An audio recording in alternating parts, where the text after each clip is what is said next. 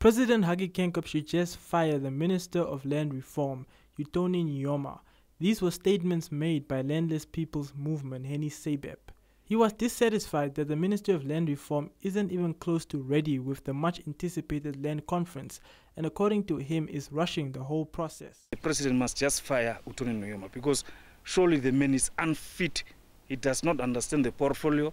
In fact, he is busy community agitation so that the communities rise up against the president for his own benefit to try to unsettle the president at the forthcoming uh, conference with his other dark forces. It is very clear Utoni does not have interests of the government at heart, nor does he have interests of the communities that he is supposed to be serving, nor does he have the interest of the appointing authority. It's a blatant aggression. Seibeb pointed out that the Minister of Land Reform's behavior was a major contributing factor in the slow progress of the land conference.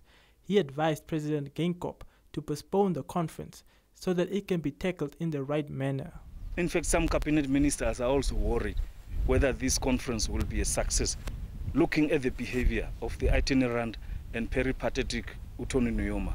So we feel, first, the consultations must be redone.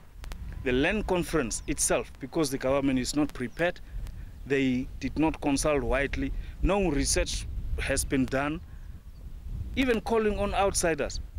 We feel that the president, it will be wise for him to postpone this conference so that we redo these things in an inclusive manner, in a manner that will be sustainable and durable so that we don't sit with the same problem after 30 years again. The Landless People's Movement will also have a People Land Conference in September where they will draw up a manifesto to be taken to the land conference organized by Utoni Nujoma.